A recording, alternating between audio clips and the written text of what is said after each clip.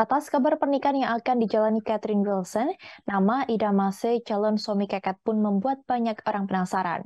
Ida Mase sendiri adalah pengusaha dan sekaligus anggota DPRD Sidrap, Sulawesi Selatan. Ia adalah pria kelahiran Bajo, Sulawesi Selatan pada 30 Maret 1972 yang kini berusia 50 tahun.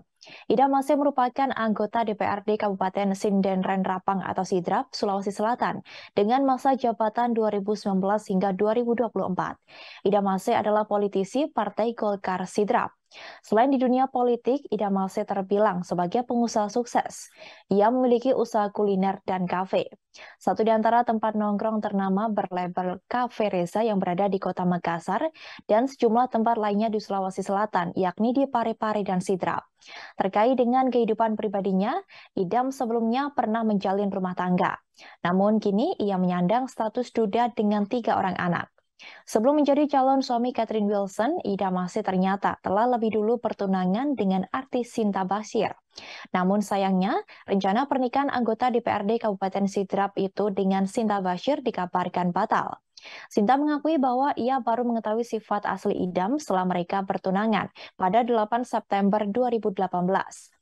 Sinta lalu menghapus foto-foto pertunangannya itu dari akun Instagramnya. Idambu membenarkan batalnya rencana pernikahannya dengan Sinta. Politisi Partai Golkar di Sidrap, Sulawesi Selatan itu enggan berkomentar banyak saat ditanya penyebab batalnya rencana pernikahannya sang artis. Idam dan Sinta sebelumnya merencanakan pernikahan pada 11 November tahun 2018, namun akhirnya kandas di tengah jalan.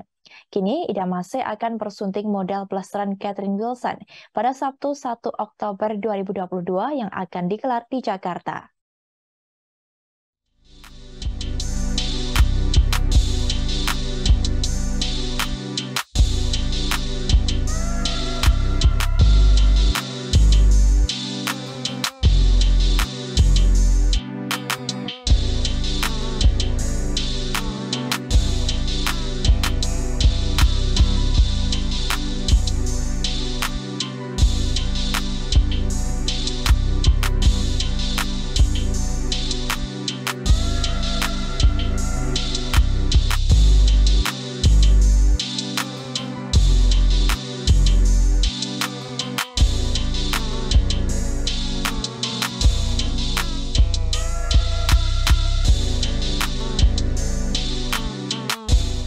Terima kasih sudah nonton.